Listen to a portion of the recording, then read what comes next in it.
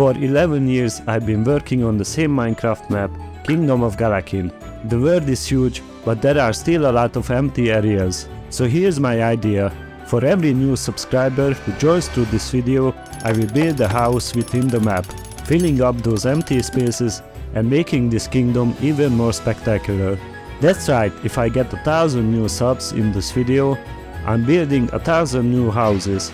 For reference, this is the biggest city on the map and it has less than 500 houses. This could be a really bad or really good idea, but anyways, hit that subscribe button and claim your own house in Kingdom of Galekin.